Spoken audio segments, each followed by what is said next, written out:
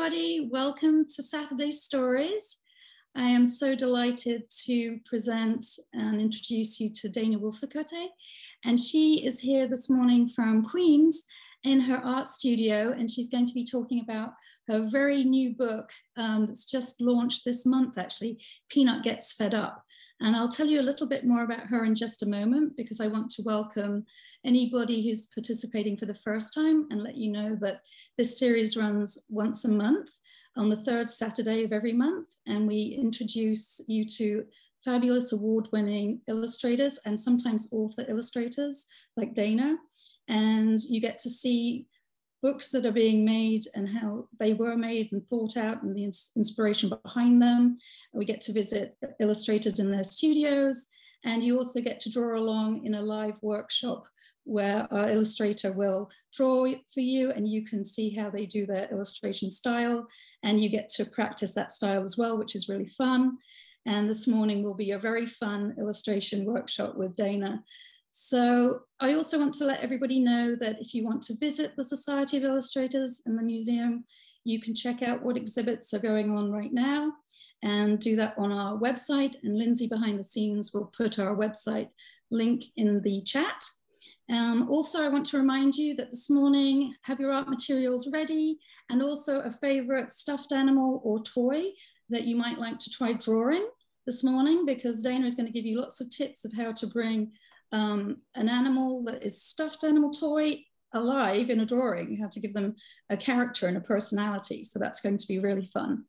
Um, also, I want to remind you that if you would send in your drawings, we would love to see them. You can send them to my email address, which um, sorry, Lindsay will put in the chat, but you can also send them to Dana. If you already know and are a fan of Dana's books, um, do send them to her as well. We like to share um, illustrations with each other. Um, I also wanted to mention um, that um, you can put questions for Dana in the chat. I really love to ask questions on your behalf when the workshop starts. So she'll do a little presentation first and read her new book and, and then she'll start the live workshop. And during that time, I will share questions. So think of any questions, like particularly when you're listening to the presentation, you might have a question that pops into your mind. So just write that in the chat and then later I will um, say who uh, wrote that question and I will ask it on your behalf. Um, so without further ado, a really warm welcome to Dana this morning. Um, Dana was born in Korea, um, but she grew up in New Jersey she now lives in Queens with her husband. And a very fun fact is she and her husband actually got married at the Society of Illustrators last year, which we were very thrilled about um, in our historic uh, dining room and terrace. And um, we also know Dana through her work um, because she's been doing picture books now uh, since 2018, and she's done already 10 books, which is a lot of books. Some she has written herself, like the first book she wrote and illustrated is called Rabbit and Possum, which is about two very unlikely friends. And I really love that book very much. And then she's also done um, collaborations with other authors, um, some of which I have here. Um, you can get these books in the library.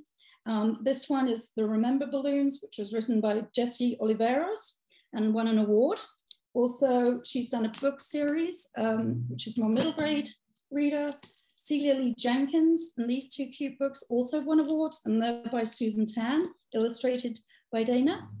Um, and Dana's going to tell you much more about herself and her inspirations and how she got into drawing and having a love for drawing, which she's had all her life since a young child.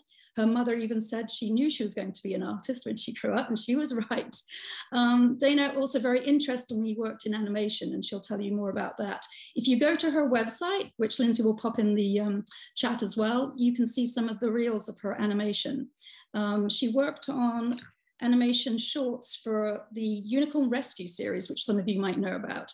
And there's also a link in the chat to those series, so you can check those out as well. Animation really helps with picture book illustration and writing because it's also about storytelling. And, you, and Dana will totally explain how that influenced her illustration and love of writing picture books as well. So um, I also want to thank, before we start, the Bruce J. Heim Foundation, who continue to gift us with the generous sponsorship of this program, bringing it to you all for free. And welcome to you all, wherever you're coming in from. We love to hear where you're joining us from, whether it's from other parts of the States or even other countries. That's very exciting for us to know. And also this um, program will be on our YouTube channel for you to revisit and draw along again. So over to Dana, welcome this morning. Hi, thank you so much. Um, I'm so excited to be here with everyone today. And uh, so yeah, I, I'll just get right into my uh, presentation that I have for you and then we can have some fun drawing.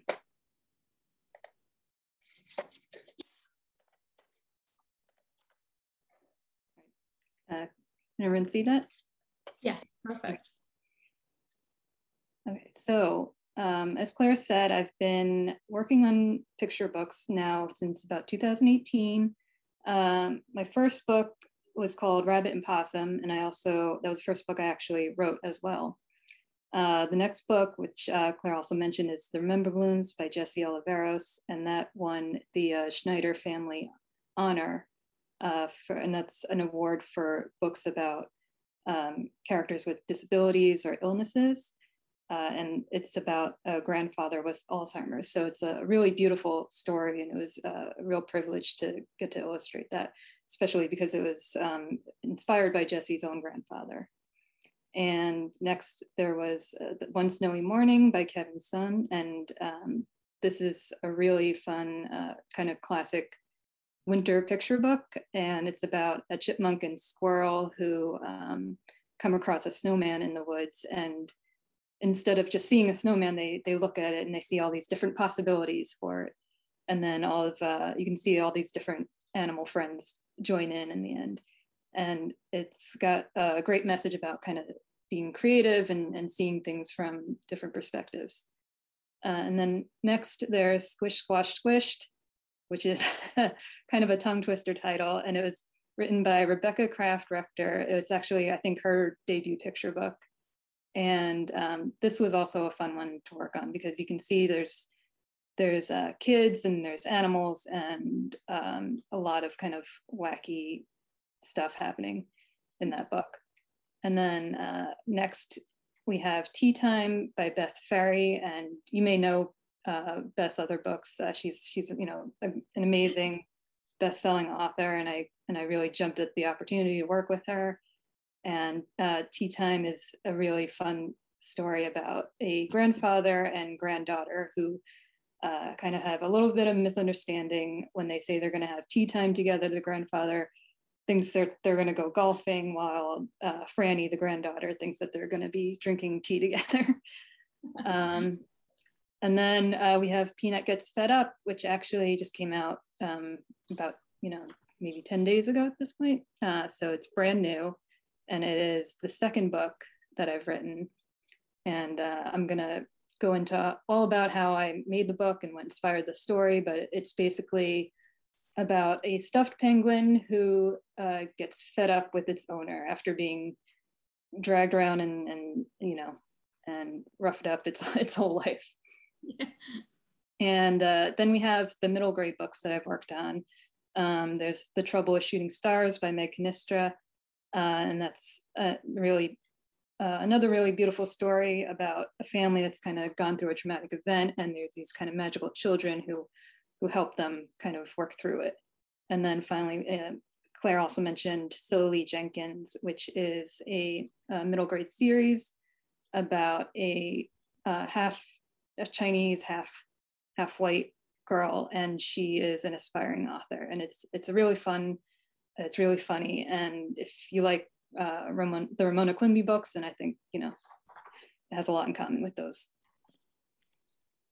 Okay. Um, so like Claire said, I was born in a country called Korea and in the capital, which is Seoul.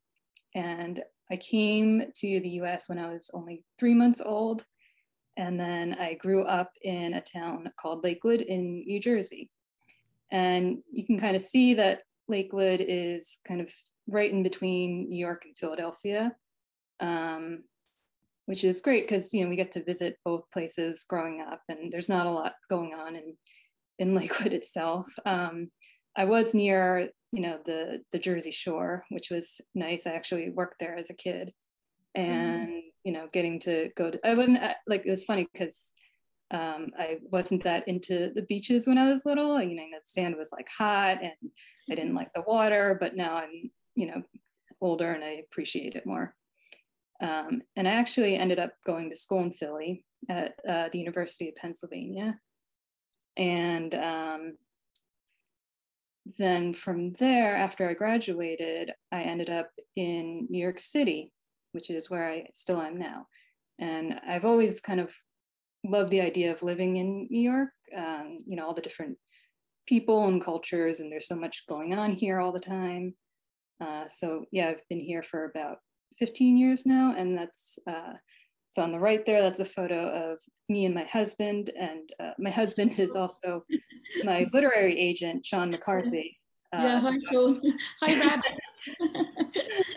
and the rabbits. and the rabbits. Uh, so yeah, I, I, share an apartment with uh, my husband and my two my two rabbits. And on, so on the left there, that's Maggie, oh. with her little with her little gray nose and ears and we got her about a year ago.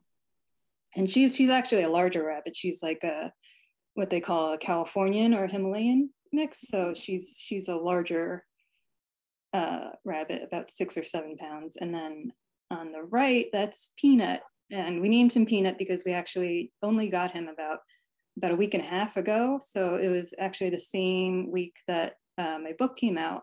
Yeah. kind of thinking like, oh, what you know, like we didn't really know what to name him. But then I thought, well, why not just call him Peanut? And he's yeah, he's very tiny compared to Maggie, and he kind of looks like a peanut. So we thought that was an appropriate name for him. Um, and these are uh, my two other rabbits that I that I had, and sadly wow. they're no longer with us. Uh, but you can see on the right, they actually have, uh, I've managed to put them into a few of my books. So they yes, kind of my work. I love that. and so Chewy is the black and white rabbit with the floppy ears and Woodstock is um, the tan rabbit with the crazy hair. And um, she has, she's called, her breed is called a, a lion head. So that's why she has that kind of, kind of mane. Um, so and you can see that uh, rabbit the that that's the image on the top left there she she was um, the look of rabbit was inspired by chewy i just i just yeah. kind of took his his design and, and got rid of the spots around the eyes right. the long ears yeah and then on the right that's from the remember balloons um, on the bottom left that's uh, woodstock and tea time mm-hmm. and um, and then on the right, that's uh, Woodstock and Chewy on a walk and, and squish, squash, squished. So I'm, I'm currently, uh, I don't have Maggie or Peanut in any of my books yet, but I'm sure that they will find their way into. Oh, yes, I'm sure. so cute. Uh, and so the reason why I ended up moving to New York was actually so I could work in animation. And uh, it's kind of what I had wanted to do since I was a kid. And, um, I, you know, I had a, I went to school for, I did some, some work in animation in, in school. So my first job, my first few years in working in the industry, I was doing uh, TV work. So these are some of the shows that I've worked on, and I would be surprised if anyone had has seen or heard of these shows uh, because they, they only lasted, you know, a couple years. But uh, I, I learned a lot working on them and I kind of got to work on all aspects of animation so that, you know, there's different stages. You, you have, you know, the character design and then storyboarding and then, uh, you know, finally actual animation, making the characters move. And I got to do a little bit of all that dancing sushi is such an unusual character. uh, yeah, that that so that was a spin-off of Kappa Mikey, which uh, uh, okay. which is one on the left, which is where I started. Um, not, not, Dancing Sushi, I think, is just a web series. You might still be able to find oh cool find that on YouTube or something. I'm not even sure, but that was uh, that was a lot of fun to work on. I can see. and then so I still uh, actually do a lot of animated work today. I kind of split my time in between um, doing shorter freelance projects in animation and working on the books. Um, with TV, you're kind of, you have to kind of commit to, you know, working on a full season of television for, uh, you know, maybe like six to eight months at a time, depending on what your role is. So right now, over the, when I started to work in, um, in publishing, I kind of needed to transition to jobs that were shorter in length. So I'm doing more commercials and um, short videos for different companies. Uh, and you can see it's like a, you know, it's all different types of work, all different types of styles and uh, ways of working. So, you know, it kind of keeps me like. Yeah, very diverse. Mm-hmm. Yeah. Yeah. And so one of those examples I think you mentioned in the introduction is uh, the Unicorn Rescue Society, which is uh, that image on the top left. And um, it is actually a book series, a middle grade book series by Adam Gidwitz. And he pairs up with other award winning authors to sort of talk about, uh, or, or the stories about um, they rescue different mythological creatures around the world. So you can see that um, you know that little blue guy there is uh, Jersey, and he's actually the the Jersey Devil, which is you know from it's from New Jersey, um, and that was a lot of fun to work on because I got to animate Jersey dancing and and the characters doing some silly stuff, and that you know that doesn't always happen where I get to like animate children's book uh, material. Yeah, that was a good one for you, right? And yeah. You did prior to doing your picture book, so wonderful yeah. Yeah and then um, you know some of the other stuff is like you know the, the one on next to it is a dum dums commercial.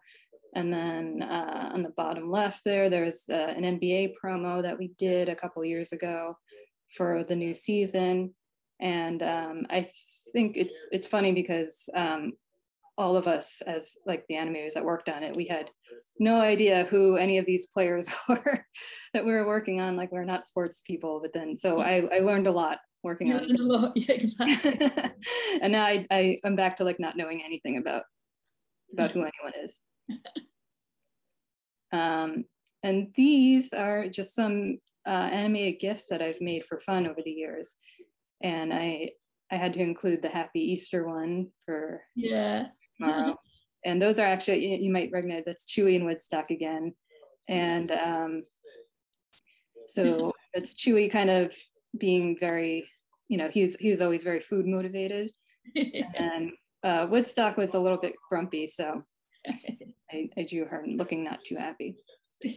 Um, and then uh, I also do uh, some animated gifs for the books that I work on whenever, you know, I haven't had time to do them recently, but you can see that's one for the Remember Balloons, one Snowy Morning, and then there's Rabbit and Possum on the bottom. And I actually um, did a whole trailer for Rabbit and Possum. So uh, I didn't want to put the video on here because, you know, I, I know videos don't really play well over Zoom um, but I have some clips here. And then if you search Rabbit and Possum book trailer on YouTube, it should be the first thing that comes up. Yes. Um, yeah, so that was a lot of fun to work on. Yeah, I love those characters so much, Dana. Thank you. Um, possum endearing, right? An endearing yeah. possum so possum is kind of based on my husband and then i'm i'm kind of rabbit but you know by the time by the time i kind of developed the story and the characters for the book it, it they've they kind of became their own. They evolved. And then yeah and then you can see moose in there too. Mm-hmm. um, yeah hiding. So you know working i know you've you guys have uh, worked with other um, illustrators on here also have a history in animation. Yes, that's and, right. Yeah, and it's really interesting because I think having that background in animation really helps you transition into publishing because it's kind of like it's a very similar process in some ways it's actually like the bookmaking process is actually simpler yeah. um, but you know it's like kind of just taking the motion out mm-hmm. and mm-hmm. especially if you're working with like in children's TV, and then uh, it's, it's a it's a very similar similar way of working. Um, so for me, the challenge, the biggest obstacle when it came to kind of transitioning, aside from the writing, which was very new to me, um, was just kind of developing my own style and my own way of working uh, for making picture books. Like as an animator, I kind of had to be a little bit of a chameleon and take on all these other different styles and approaches depending on what the client asked for. So then when it came to um, when I decided like that I wanted to try and make picture books, I needed to develop my own personal style and approach. So the way I did that was um, I started doing all these kind of drawing challenges and I would just draw all the time every day. And, and I came up with all these different characters and ideas over uh, a few years. And so on the top, the, the images on the top are from are my Inktober's, mm-hmm. which um, I don't know if you're familiar with that, but the there's like a drawing challenge that happens every October, and basically all it is is you draw you do one ink drawing a day. And this was a really great way for me to kind of uh, not only develop my own style, but come up with like a lot of different character ideas. Yeah. Mm-hmm. Yeah. And um, then on the bottom, those are some examples of what I call dog diaries. And uh, basically, and I, I, love dogs. I love all animals, but I, I love dogs. And I, but I just don't really have like the time to take care of one, which is why I got rabbits instead. Um, but I would see all these dogs in the city, and then I would tell my my husband about them, and he'd be like, "Well, you know, you should just draw them." Draw them, yeah. So yeah, so I started doing that, and this was another way for me to just kind of um, you know develop different different techniques and drawing styles and approaches and, and really have a chance to just experiment and have fun with it um, you must be excited for your next book then oh yes yeah. so my next book is called i have seven dogs. It's written by molly horan and it's it's all about a little girl who has um, a lot of dogs in her neighborhoods that that in her neighborhood that she thinks of her dog because she doesn't she's unable to have a dog of her own. Uh, so it's yeah it, uh, that was a lot of fun to work on. Yeah you obviously had the research already in your portfolio. Yeah. Um, yeah uh, and these are all examples of um, like kind of more finished portfolio pieces that I developed and so this is what kind of uh, my portfolio looked like when I would uh, go on meetings with art directors and editors, and we would discuss the type of work I wanted to do. And, and you can see that the kind of common motifs of like kids and nature and animals are all in there. Um, and also just kind of like, you know, mm-hmm. having fun and with the, the work and, and having a sense of humor in there. Yeah, love them. Love them um, and you know i think that's important to kind of if if you're developing uh, a portfolio to kind of focus whether it's working for in children's illustration or any other type of artwork or creative industry that you want to work in i think it's important to um, focus on the stuff that really interests you like yes. you don't want you don't want to have a portfolio full of cars if you hate drawing cars exactly that's really yeah, which I know a lot of us do. A lot of us, a lot of us are not fans of drawing any kind of vehicle. I'm not. I'm not good at it at all. Uh, but you know, like if if you if you are if you're interested in that, then you know it's great because then you know you can get all the work that no one else wants to do. Yeah. Um, I, I, actually I remember talking to a, a, friend of mine who is a background artist, and I asked him like, why did you want to be a background artist in, in animation? He said like, well, you know, no one else wanted to do it. So I figured, oh, let me let me become a really good background artist and I'll get all the work. Yes. Yeah, and backgrounds are also key in stories. You know, you want to yeah. put your characters in a scene. Is that a capybara? Is that how you capybara? A capybara, little... yes. Yeah. I, I I love capybaras. Um, yeah, so do I. They're just so they're so funny and so funny. Yeah, and they're just like I don't know. I I've seen like videos of them going into like sit, just sitting in hot springs and they look so relaxed and happy. And yeah, uh, I haven't put one into a book yet. I'm, I'm yes, like you might have. I should have a capybara book at some point. Yes, yes. Uh, and this is kind of where I'm at now. These are some examples of uh, work that I've had in like published books over the years. Um, and so I'll go into kind of the way I work, uh, but I like to do sort of a hybrid style between um, traditional and digital. So, uh, and this is um, just for like finished published work. Um, when, you, when you're working in a picture book, when you're doing a picture book, uh, you have to, it's important to keep everything very consistent. Um, so I like to have kind of a, a system of working that will make it easy for everything to to remain the same because you have to make sure all the characters look the same you have to keep all the same colors uh, you can't have you know things looking wildly different from one page to the next uh, so basically i the way i work is i typically do um, all the the line art on pencil and paper and then I scan that into the computer and I add all the color digitally. And that kind of just allows me um, the ability to make changes a little bit easier instead of having to like re repaint everything or redraw everything. I can kind of just uh, move stuff around or delete pieces here and there if I need to. Um, because you know there once you have the final art done you, you can still sometimes have to go back and make changes um, but you know with each each book i work on i like to try and do something a little bit different or experiment with a different way of working or a different approach um, whether it's kind of using a completely new color palette or um, maybe incorporating new techniques. Like in tea time i started to kind of add some collage work in the background there um, and and utilizing like watercolor textures and stuff like that. So yeah did you learn that um, also a little bit when you were um,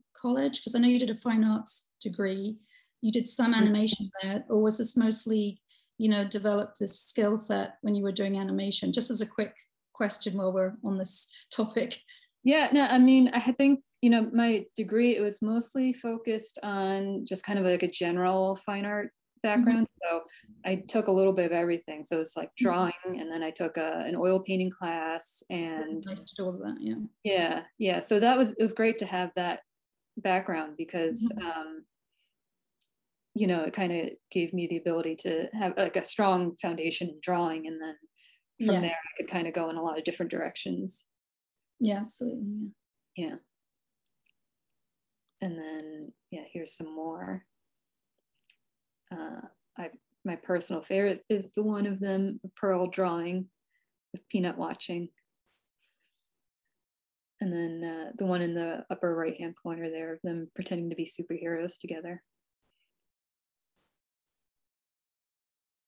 and uh, so this is dolly. And oh, this is this is the doll that inspired the story. And um, it's funny because you know I've had her for so long and you know I, I look at her and I at a certain in a certain way. And um, I remember the first time I showed her to my husband and he was absolutely terrified of her.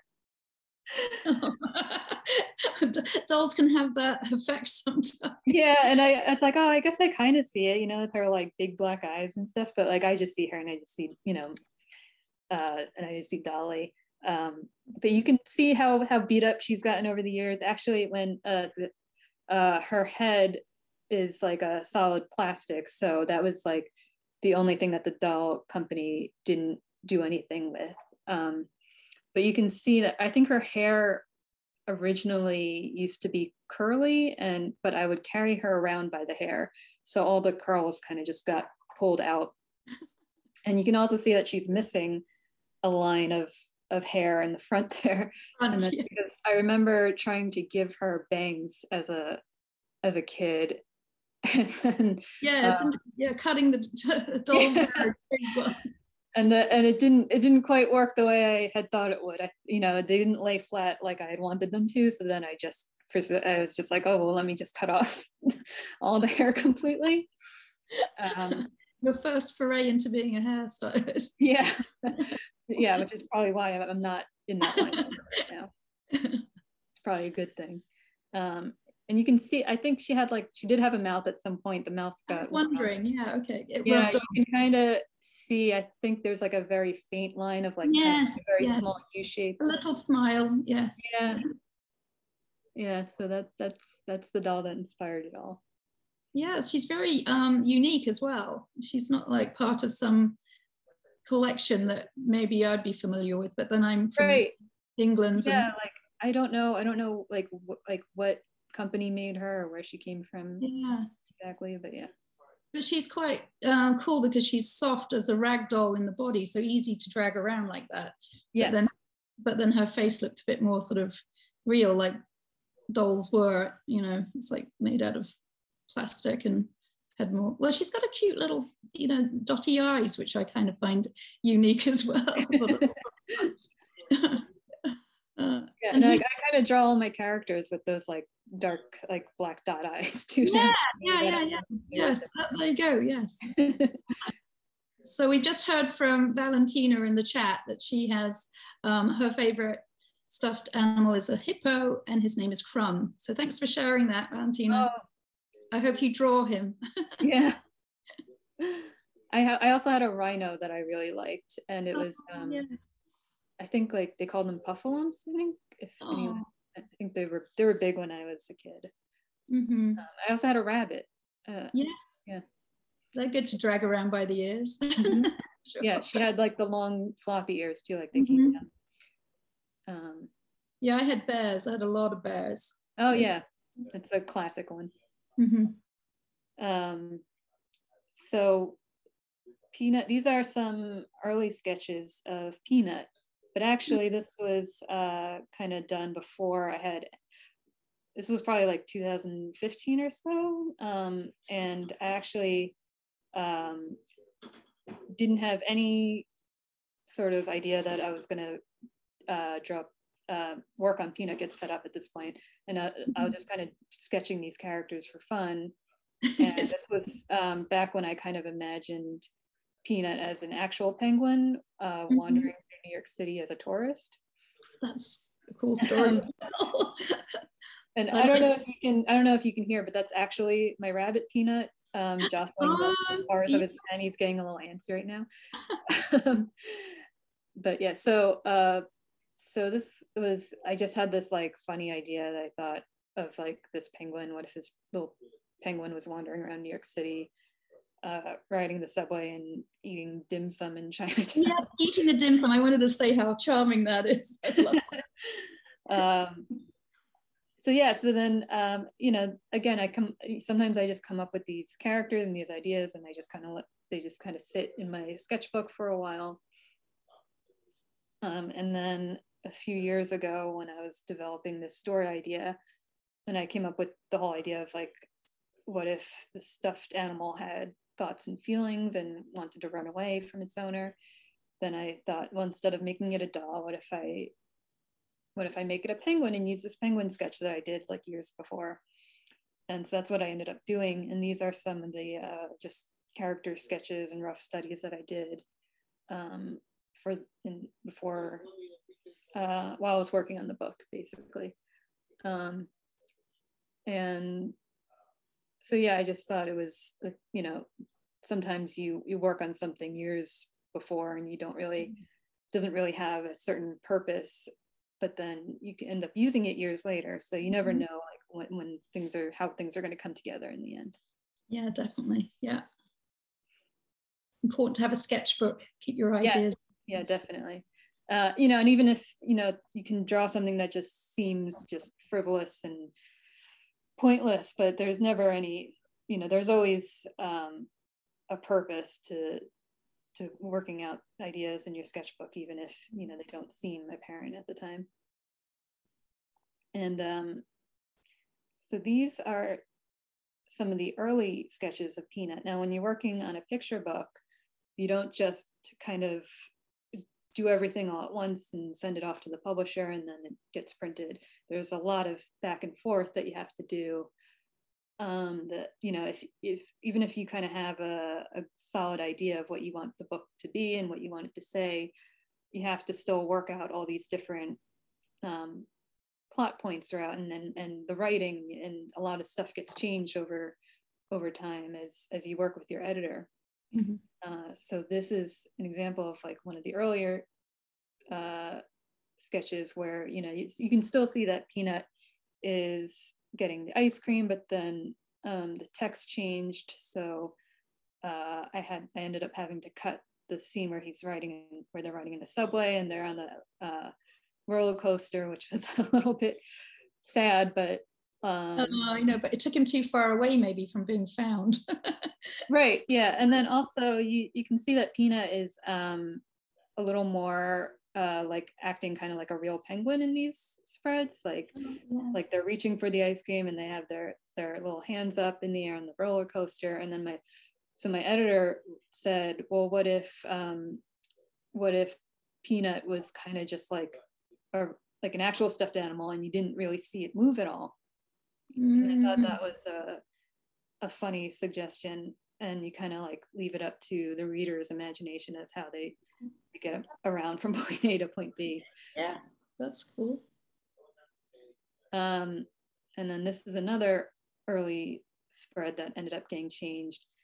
And you can see like the basic idea of kind of Peanut approaching the swing set once he once they realize how much they miss Pearl uh, that kind of remained the same, but then the images on the right had to get cut once we um, decided to change the text and the ending a little bit.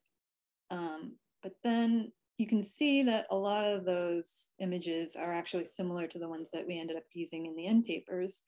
Uh, so that was like just a nice thing where sometimes, you know, you come up with these ideas and, and they can be used. Yeah. Kind of, yeah, take them if they if you end up not using them in one part of the book, you might be able to salvage them and use them in a different part. Mm-hmm. Lovely. Yeah. yeah. Oh, so before I go on through the cover, I thought I'd just kind of show what the process of like how I actually make the final art for the book. Um, so this is what I use when I when I'm working digitally. It's a program called Photoshop, and you know it's something that I think a lot of artists use when they're working digitally or you know Procreate on the iPad now. Um, so this is a uh, the rough sketch that I start with. So um, you can see all the characters are in different layers, and that's just so I can kind of move stuff around easily if I and want. That, and that, um, Dana, you drew it and then scanned it in. Right? No, this is actually when I'm when I'm just doing the sketches. You're drawing. Uh, I will work all digitally. Okay, got it. Yeah, it's actually it's it's faster for me to be able to work digitally gotcha. uh, in the sketch phase, and and then just kind of so you know I'm just kind of planning everything out and putting everything where it needs to go. Got it. Yeah. Um, and this is you know still you know in the sketch phase a lot of things can still change at this point, so you want to be able to keep mm-hmm. things um, kind of loose and and not put too much time or effort into them because a lot of things will end up changing inevitably uh, right. and you just want enough information to kind of make it so it, it's obvious what's what's happening mm-hmm. in each shot and then um, so what i do then once once the sketch is approved then i actually print this out and i use uh, something that's called a light box and that's so i can uh, lightly trace over all the artwork onto onto nice like uh, art paper and then i do the pencil line, the pencil work. And this is what the final pencil art looks like once it's scanned into the computer. Um, so it's just kind of like a cleaner, nicer version of what the sketch is. Uh, but then you have to add the color to it. So this is what the color looks like. So mm-hmm. what I do is basically similar to the sketching part of the part of the phase. I have all the colors on different layers. So that's the grass and shadows. And then you have um, like the background characters. And there's, you can see there's a lot of different layers here. Yeah. And this makes it really easy if like, you know, my, my art director editor comes back and says like, can we just move peanut over a little bit? You can just grab those layers mm, and kind of shift yeah. it over. And it's a lot easier than, you know, having yeah. to like repaint mm-hmm. like that whole section or, or whatever. Yeah. And that way you can kind of save, you know, if you really like the way something looks, it, you don't have to redo it. You can just, you can just yeah. move Um, and that's, that's basically it. That's yeah, that's fantastic. Thank you so much for sharing your presentation with us. Um, so yeah, excellent. Are you ready to draw everybody?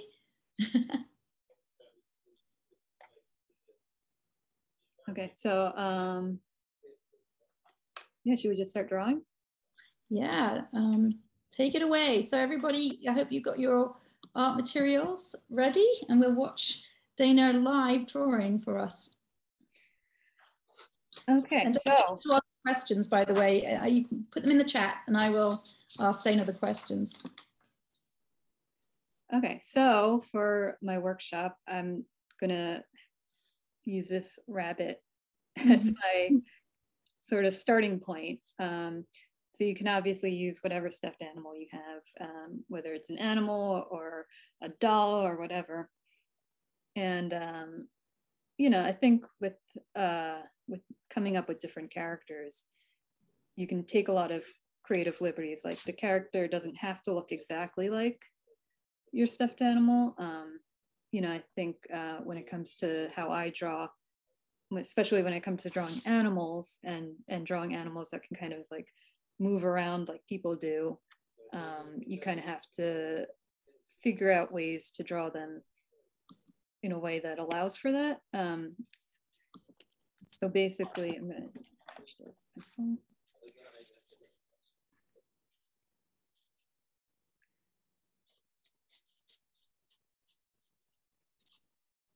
basically I start with the head. And these are the two little eyes.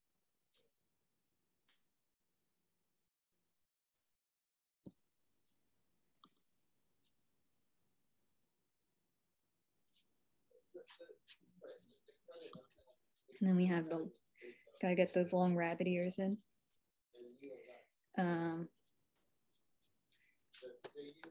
so yeah, so we start with the head.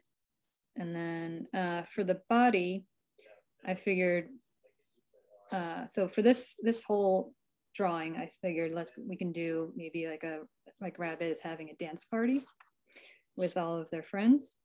Um, so we want to draw her in motion. Um, and rabbits kind of have these, you know, when rabbits do a thing called telescoping. It's kind of like when they get up on their hind legs and they put their arms up and they stand all the way up and they get really tall. Uh, so they actually have a pretty long body. And what I basically do is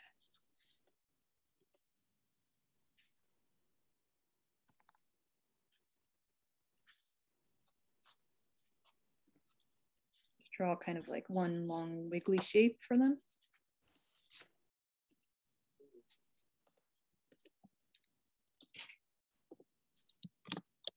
And then they have these, they have really big feet. And if you know rabbits and they are, um, they're really good at hopping. And my rabbits can actually hop like really high if they want to when they're not being lazy. Uh, so that's why they have these, these big feet to do that.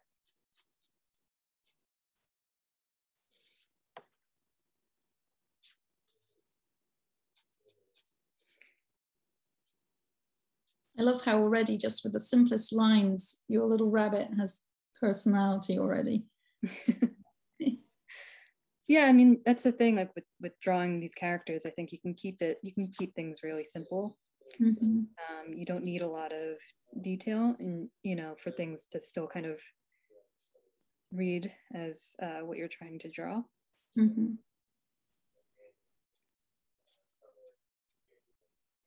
Then rabbits have kind of like these little front paws.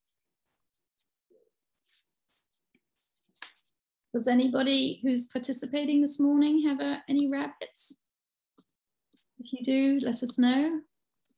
Or let us know if you have any pets or if you definitely have a cute stuffed animal. Um, we'd love to know what, I know Valentina mentioned she has a hippo. Uh, how about anybody else? Let us know. Love to hear from you. I know you're probably busy drawing now.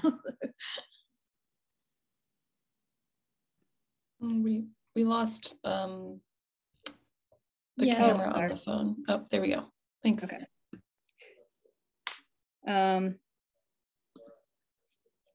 oh. I'm going to draw her with a tambourine. So Valentina has a bunny in the backyard, which actually Lindsay, who's behind the scenes at Society of Illustrators, she also was watching rabbits in her garden. She has a rabbit that's been coming up to her deck to have some food.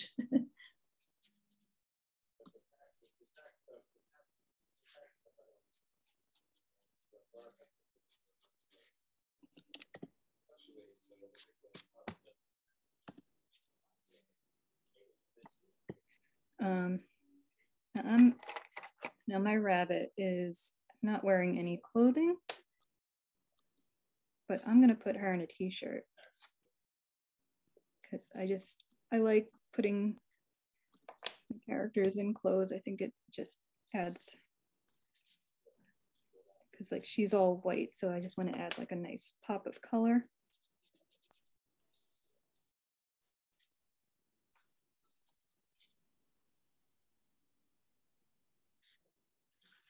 So for those um, who are drawing with regular tools, you know, like pencils and maybe having a go with um, ink pens or possibly even dipping ink pens, which is another um, nice way to do an outline, particularly if you're doing animation.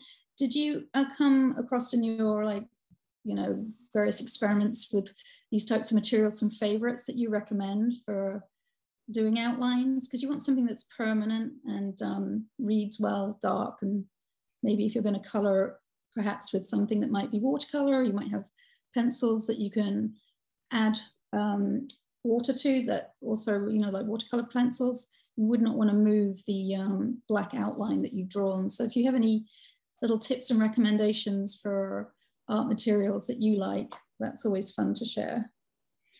Yeah, so right now I'm using uh, Prismacolor color mm -hmm. pencils, and uh, these you can you can find them in any art uh, store. yeah, and um, you know, I haven't used watercolor pencils. Mm-hmm. So I, I, I'd like to try them. Um, you know, I haven't exper. I need to experiment more with some traditional media because, uh, you know, I usually color digitally. So. Right, right. That's that's correct. You you, you mentioned that's how you're doing your picture books, um, and I guess that's how you did the animation as well was digital. So yeah so i like to you know I, when i do stuff like this i just i like to you know play around with colored pencils and watercolors uh, mm-hmm. but i haven't you know really i would love to do a, a full book all traditionally one day but you know oh. That would be nice wouldn't it? Like a yeah. different challenge yeah. I had there's some illustrators that i love who work traditionally and mm-hmm. uh, it just it scares me to well speaking of that who inspires you? Yeah i was going to ask you a few questions about you know maybe not just um, illustrators but maybe actual picture books that you grew up with or any animation that you even saw that inspired you oh yeah so um i think you know growing up i, I read a lot of the classic picture books like uh, mm-hmm. you know um fairy tales. Sorry. Mm-hmm. Uh, like Maurice Sendak, you know, and, and yes, Polar Express and, and all those kind of books. And yes. like another one, I remember the uh, Millions of Cats, I think. It was, it's a really oh, old one. Yeah, uh, that's a fantastic one. Yeah, Millions of Cats, yeah. Um, so yeah, you know, I yeah, I remember all those books. I think Maurice Sendak was a big obviously a big influence on me as a kid. And then also um, the Winnie the Pooh books I loved, mm-hmm. yeah. uh, especially the illustrations, like the the way that uh, characters were drawn. It, the, it just I just mm-hmm. love that, and, and you know the Beatrix Potter too. Yes, I see a bit of you in both of those styles. Yeah, yeah, I, I love that kind of just classic, um, mm-hmm. those classic illustration styles. Mm-hmm. Yeah. Um, yeah, and mo- more recently, like you know, and I was also like a big um, Disney kid growing up, so I, I yeah. watched all the Disney movies, and I loved that. And I would always say, you know, I'm gonna grow up and be a Disney animator. and I, I realized I didn't really want to move all the way to California. Oh right, yeah, that's where most that. people. Yeah, that's true. Yeah. Um, but yes, the Disney movies, wow, some of them, particularly speaking of backgrounds, I mean, you really you focus in on the characters, the main characters, which are the animated moving, you know, story.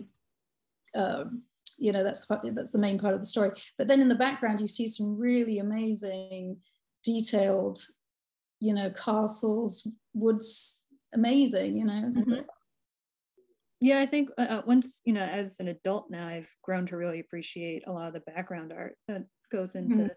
them especially the more the the kind of like the older classics like you know 101 mm-hmm. dalmatians and yeah. stuff like that where they have kind of more stylized yes backgrounds and such fun characters in um stories like sleeping beauty that were you know translated into disney animation really wonderful characters in that um, Snow White, Jungle Book. Oh yeah.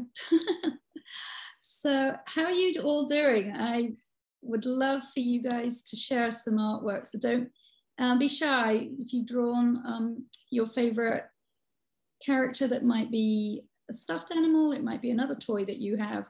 Um, do share. We'd love to see those drawings that you do. And also, if you are drawing a pet, that's also another idea. I have a mini Dachshund, as some of the participants might already know. And I noticed, Dana, that you had drawn three little Dachshunds in one of your um, portfolio pieces. Oh, yes.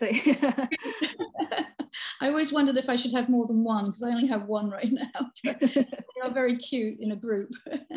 yeah, there's actually one in uh, in the book I'm working on as well. So oh, good, good, good. Excited yeah. to uh, I, I, worked at a studio where the one of the one of the employees had a little dachshund that that would come in and, and kind of like scurry around the studio and that's so cute. Yeah i love i love a lot of people will have like studio dogs at some of these yeah. studios i work in and it's always nice. Yeah you have studio rabbits. I don't know if we can get yes. a glimpse of them but they're very cute.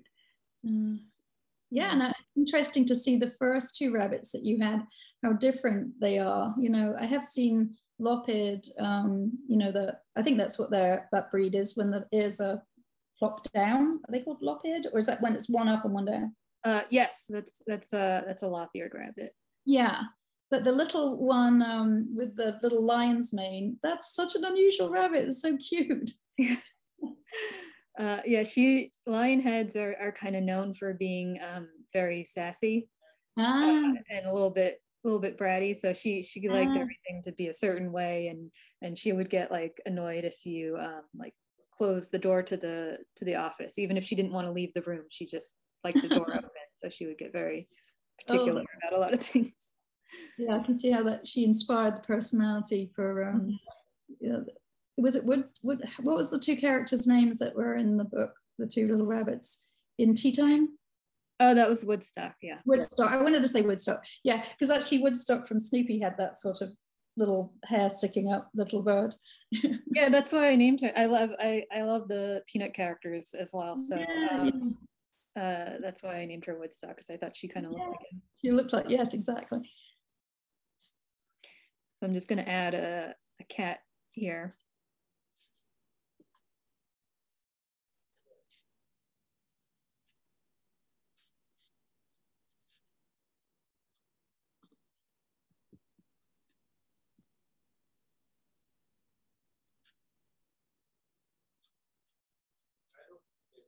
So also, you know, the more you draw um, the more you get used to just drawing without even reference, it's like Dana obviously has drawn lots of animals over the years, so she can just start to draw a little cat without even having something in front of her to, to look at as reference. And I'm sure some of you draw very regularly, as I know quite a lot of you do.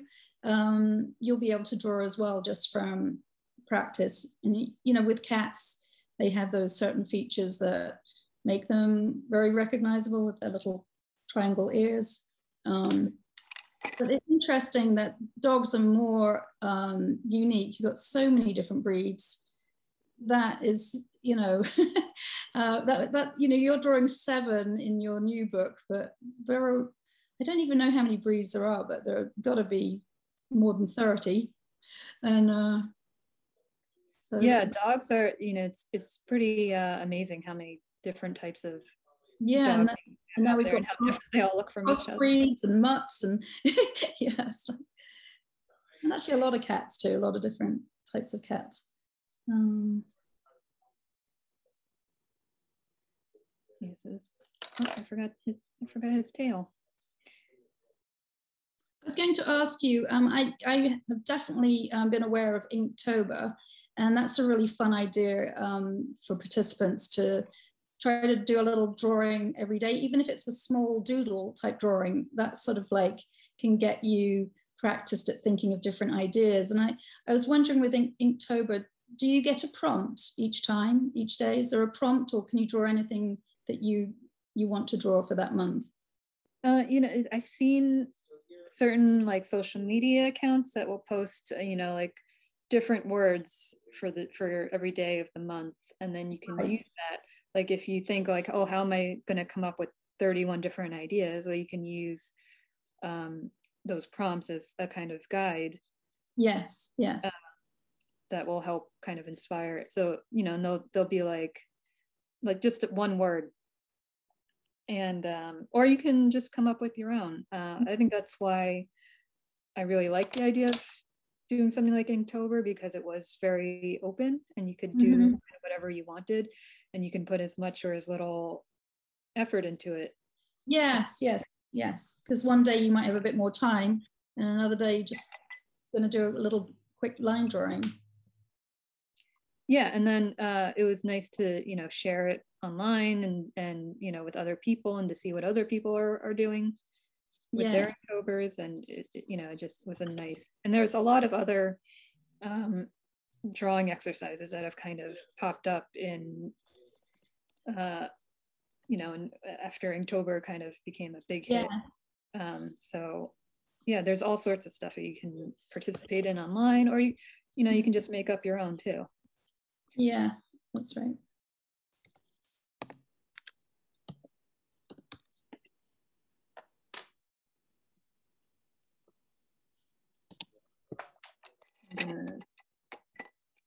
Buying a green sweater, I think.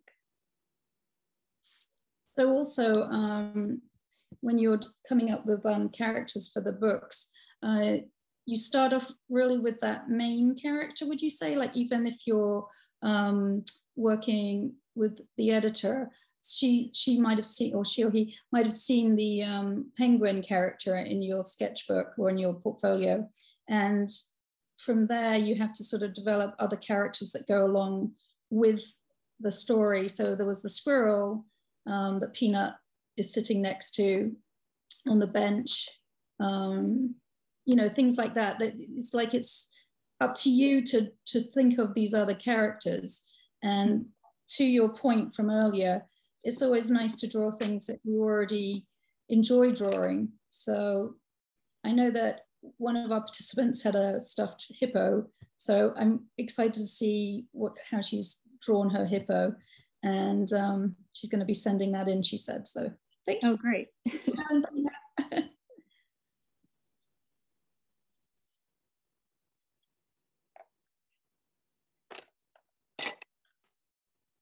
and you know like obviously when i draw these animals they don't look exactly like you know this doesn't look like a real cat um, so you can take a lot of a lot of liberties when you're yeah make it your own your own style yeah it really gives it personality did you have some favorite animals when you were a child Uh, you know, it's funny because I always, growing up, I always wanted a cat, mm-hmm. um, but my my brother was allergic to them, and then and now that I have rabbits, it's it's like I can I couldn't imagine having anything else. Um, yeah, you're definitely a rabbit family there.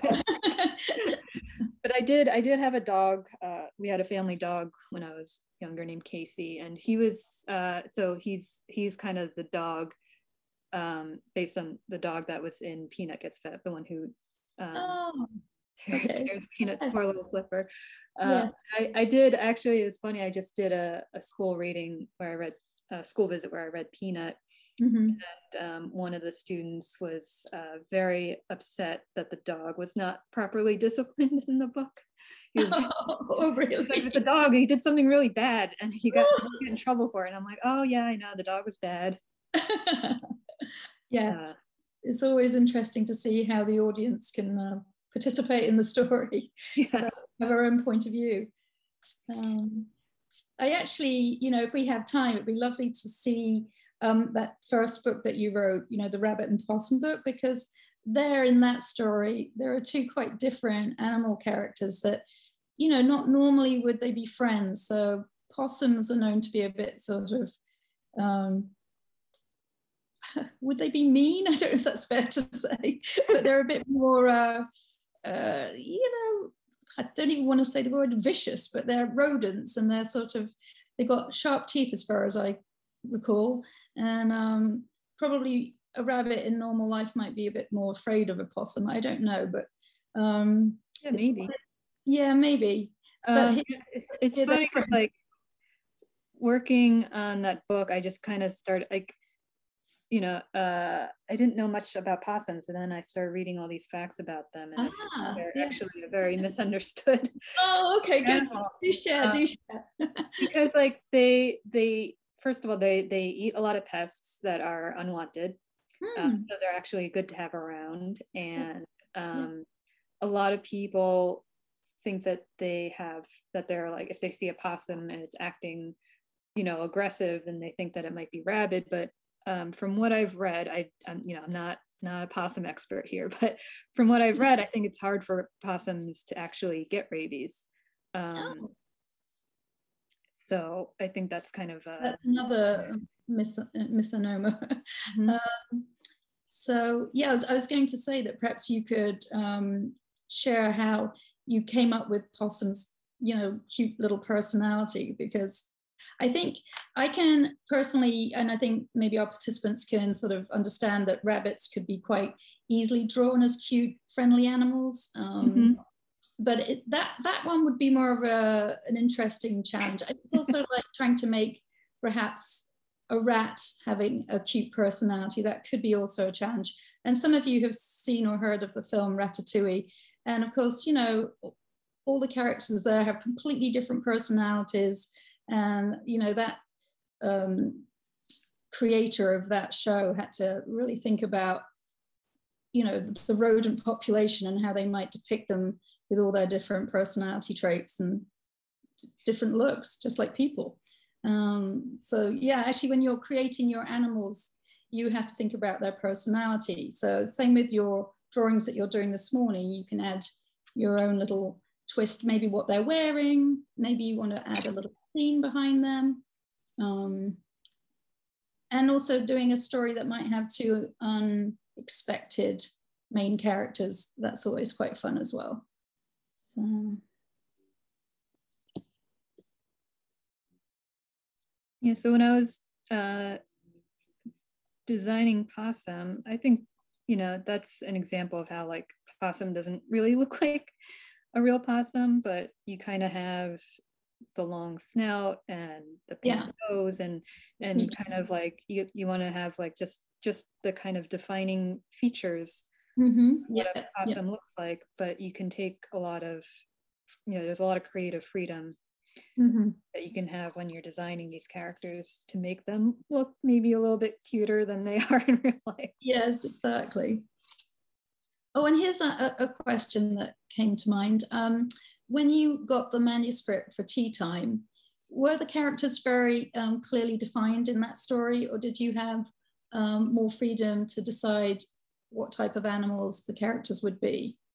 Yes, so actually, uh, there was no specific um, guidelines for those characters. So that so at first I was thinking, you know, I just kind of um, was thinking that they would be human because you know it was the first thing that came to mind. But then I thought, well, why not make these characters animals instead? Because the whole the whole book is um, it has this kind of like a an overall silliness to it. Like mm-hmm. there's like a not not silly, but um, there's a lightness and a and, and a sense of fun to the book. And I thought mm-hmm. that animal characters would be more appropriate for it. Yeah. And I actually yeah. thought of using hippos because I thought of the kind of the juxtaposition of using these these these big animals playing uh, like dainty teacups and playing with yes. these little golf clubs uh, be be fun. Yeah, yeah. I think you had that in uh, one of the the sketches, right? When in your presentation, I think they were hippos. Yes. Yes. Yeah. So that's, that's very interesting, isn't it? So um, working alongside your editor and your art director, they looked at your sketches and your ideas and they like that. And how would they would they share that with the writer the author or would um, would the author not really have too much input on that? They just let you go with it and then the author would be having a nice surprise as to how you had illustrated it and and actually brought more to the whole book with your illustration ideas so that's really the um, marriage between an author and an illustrator is after the author's written the book the story the illustrator will get the manuscript and read it and then interpret it and give it another sort of layer to it, enrich it. And that, that's, um, that's pretty exciting for actually an author has, who hasn't specifically given you guidelines as to what type of character you're going to draw. So that author was happy with the result, I'm sure. Uh, yeah, actually, it's funny because um, I had the chance to meet Beth Ferry, who was the mm-hmm. author, Yes. Uh, because she actually grew up in she's she's from New Jersey. She lives there now. That's mm-hmm. where and she's about 20 minutes from where I grew up. Oh, um, wow. So we were able to have this was um, over the summer, so we were able to do like an in-person launch party. Nice. Oh, that's so and good. Uh, we had it at a golf course. Um, and it was it was a lot of fun. And she oh, actually told me that um, hippos were her favorite animal. Oh, uh, so and I didn't know that. Wow. Um, I started when I worked on the book, so that was like a really fun coincidence. Yes. Wow. So I'm, I'm just drawing a, a ballerina elephant right now. Yeah, that's right. You know, speaking, that's... Of, speaking of large animals. Yes. and I know it's not uh, uh, elephants are are usually much larger than than rabbits and cats but i'm taking some this, this could be like yeah. a big elephant i guess they're like baby animals there yeah. and actually elephants are more graceful than you think because you know they're big animals but they actually walk very um, stealthily and i've watched them actually because i got the chance to go to india and I was watching, um, and this is really amazing, but I watched an elephant polo match and they move very gracefully, actually. It's mm-hmm. very beautiful to watch. So actually, it sort of translates in my mind that an elephant might have the desire to be doing ballet, even though that seems really unusual and unlikely, being such a big animal. But, uh, I don't know if this is a, a, a real thing or not, but I've heard that football players sometimes take dance classes. Oh, yeah, helps them with their. Is it football or is it soccer? You, you mean like? I don't know. Could, maybe both. I don't know. Maybe both. That's interesting. Yeah, why not? I'm gonna add a little disco ball up top. It's hard to draw a circle freehand. Yeah, that takes practice as well, but also that adds to the charm. do you do your own lettering as well? Um, I have, yeah. Um, so, like, if you look at the cover of Peanut and Rabbit and Possum, um, those I I did the lettering for. Um, yeah. And do you have any tips for sort of developing that and whether um, writing in capital letters or in lowercase is preferable when you're doing animation and putting those words into bubbles, speech bubbles or thought bubbles? Uh, you know, it's funny because I actually have uh, really terrible handwriting in real life. Oh, doesn't look uh, like it. so when I like when I'm just like writing out something very quickly, it it, it my handwriting is very messy. Uh, so it takes a lot of concentration to actually, um, you know, make it look nice. Yeah. Uh, so again, I mean, like anything else, I would say that it's just a matter of, of practicing. Mm-hmm. And you know, the the kind of a lot of the hand lettering that I I do ends up kind of looking basically just like a, a neater version of um, what my own natural your natural handwriting would be handwriting looks mm-hmm. like yeah mm-hmm. so I, I, don't really consider myself like uh oh, there goes peanut again. Uh, hear that? Yes. Um, uh, I don't I don't really consider myself like a lettering artist um, yeah. yes. I, I, do I love I love artists who can who can do that really well. Mm-hmm. yeah. Or do like calligraphy and all that kind yeah. of stuff Yeah. yeah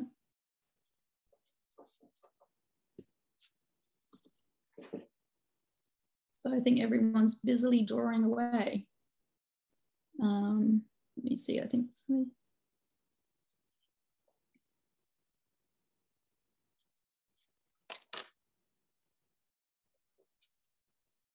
Back when you were presenting, um, Josh said amazing.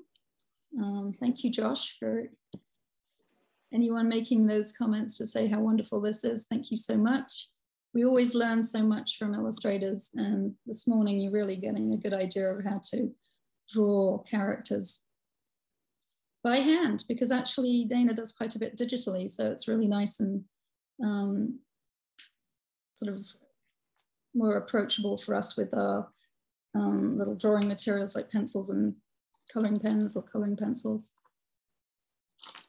Yeah, I love I love to just um, draw on paper because so much of my work whether it's you know whether it's when it's i'm working on a book or if i'm animating i i'm mm. usually staring at screens all day um, yes it's so it's really nice to be able to mm-hmm. work on paper do you have anything brewing in the back of your mind for another book you're going to write and illustrate um i'm not i have a few uh, dummies, which are basically, for those who don't know, a dummy is a um, just like a, a picture book that is fully sketched out, but you're you don't have the final art done. It's like what I showed you earlier with the black and white sketches. Um, it's just kind of that with all the text in place.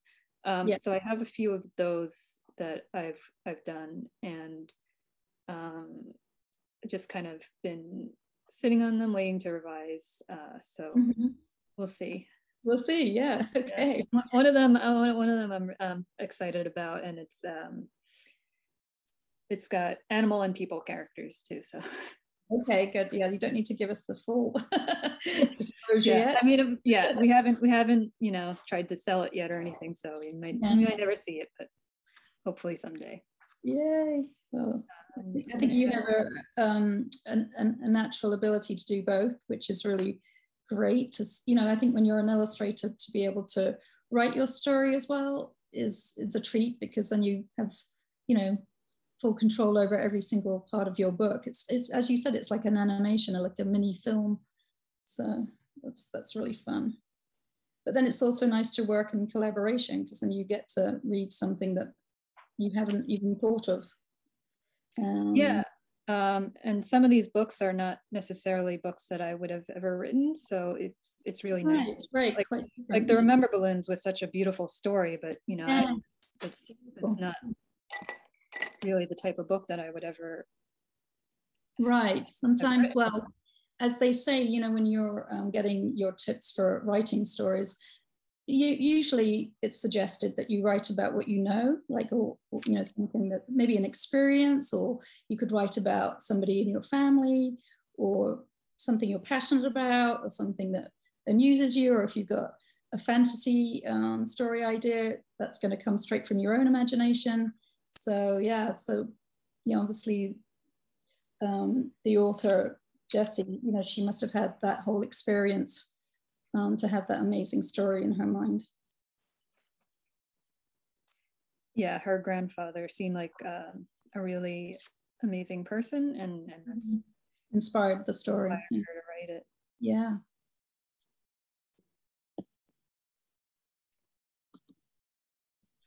And then um, my art director on that was actually uh, Lucy Ruth Cummins, who is um, also a very amazing author and illustrator. Mm-hmm. And uh, I was really grateful for her that she kind of saw that and, and, and thought of me. Yes, yes.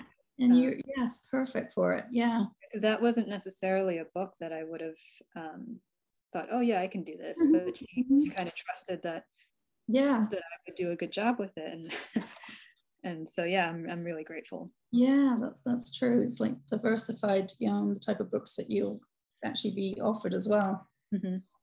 and how's it working on chapter books because let's talk a little bit about that because i know quite a lot of our participants are in you know the, the chapter book reading realm and maybe beyond but um you know like say for example with these series um as you all know kids chapter books can often have some really special little um, spot illustrations or full, you know, page. This is a full page here, but then there's also little um, spots as well. Like here, you'll just see a little drawing this um, three quarters of a page. But I really find that when I was a child, I really like those kinds of books because I like to have an idea along the with all the words have a view of the characters, even though you might have some ideas in your own mind. I, I remember I was a big fan of Roald Dahl and reading all his books. There was always, you know, the wonderful drawings in his series of books by Quentin Blake that I really enjoyed. You know, the little sketchy ink drawings that he did for all the characters. Oh, these look wonderful. Oh, so cute. Wow. So that's just using Prisma um, coloring pencils, right? Uh, yeah. Yeah, and actually, um, I do like those pencils as well because they're quite soft, um, but you can do a light touch with them, or you can press really hard and get some real coverage. Yeah, that's kind of what I've been. Yeah, so you can kind of mm-hmm. get darker in areas like that, and then and yeah. then lighter, and it kind of has different effects. And I also wanted to sort of mention to kids who are watching, um, once you've sort of outlined your drawing, don't be afraid to then go over a little bit more strongly with your pencil so that you can really see the outline. Um, because that gives, you know, for this, we can really see now what Dana's drawing because she's not shy about drawing the line quite hard. But to begin with, you might want to just sketch softly. So if you need to do any erasing, you don't end up with that line that you can hardly rub out. some extra cute little characters coming in here and see how the scene is building. It's a party scene, everybody.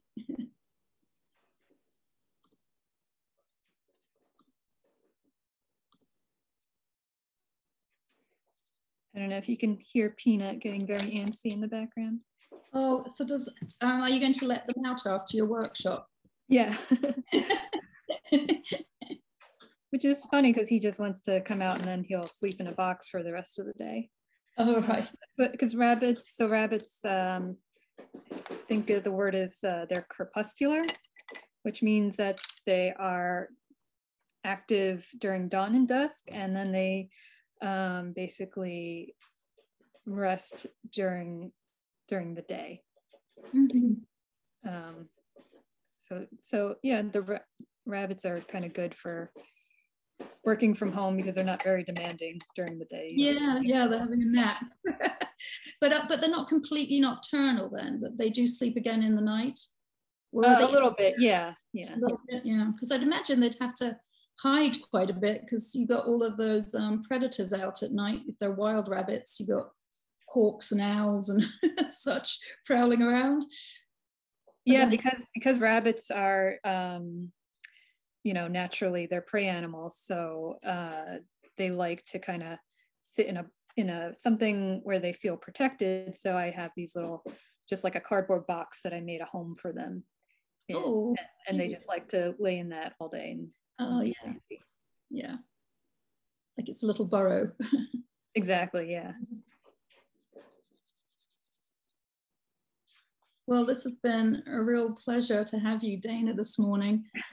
and so, so enjoyed your presentation as well. There was a lot there. I'm sure um, people can go back and look at um, the YouTube when it comes up in another week um, or so. We'll definitely have it up soon this month. And um, you can go back and look again because there's always these little details that when you're trying to draw yourselves during the workshop live, um, that you know it's fun to revisit it as well because you get a lot of more information when you go back in and have a look again. I'm certainly enjoying this very much. I really do love your work. It's really very, very beautiful and humor and endearing. Have you had stuffed animals made of your um, characters? I was going to ask. No, um, I would love that. I would love that. It's uh, one of Yeah, I think you should. I've had a, I know some, I have some artist friends who have had uh, stuffed animals made. Yes, yes. Um, but yeah, they, they, they always look like so much fun. Yes, and I think yours would be so endearing, lend themselves immediately to being a stuffed animal for sure. I do have, I can show, this is, um, so Susan Tan hmm made this unicorn Oh. for me. And you can Oh, she crocheted it. Wow. Yeah, this is like the unicorn from, from the cover of the book. Yes, yes, yes, Uh, yes. I And I love, I love its big, its big snout here, yeah, there it is. happy horn. Yeah, Uh, So yeah, this Oh, is, this is the closest thing I have to a yes, to a stuffed animal of my own. animal from the Great. book, Yes. Uh, yeah, that'll come. I'm sure. Of course, we've had to have the pandemic in the middle of books coming out, so things are slowly getting back to normal. Mhm. Yeah, I mean, I'm I'm I'm excited to hear that uh, the that that these seminars will be or workshops will be uh, in person again. in person again. Yeah, you'll be Yeah. doing, I'm sure, some visits with um, Peanut, right? You'll be hopefully doing some book signings in local bookstores, maybe school visits. Yeah, I've done yeah I've done some virtual events, and uh, you know I'm hoping I can do some in person events as well. Uh, but Yes, the virtual the virtual events are, are nice because then you can kind of do them with uh, like I was able to do a school visit in Rhode Island and Yes, you can visit further afield. We can Mhm. reach more people this way, which I enjoy as well. Yeah But um, I was just going to say to the audience, you know, do, if you're in the area, which a lot of you who are familiar with the Society of Illustrators, um, Dana is also local. She's in Queens, so she may well be doing something in the boroughs or in the area. So check her website for her news of updates of what she's doing or her Instagram and follow her. And then you can meet her. in person. And yeah i don't yeah my my website is not really i don't keep that as up to date but uh definitely on instagram or on Instagram. Yeah, that's that's actually easier to see as well. Mhm. Um, but thank you so much for joining us this morning. Uh, we've really enjoyed it. Participants have been busy working away, and I will definitely be sending you some of the artwork that I know is going to be coming in. So, yeah i'm excited to see it. Um, Everybody enjoy your weekend. I hope you have a lovely weekend, whatever you're celebrating, or if you're just relaxing, but have a great time and a great week ahead. And I will see some of you for after school workshops. Um, and then also we'll be having another Saturday Stories in May.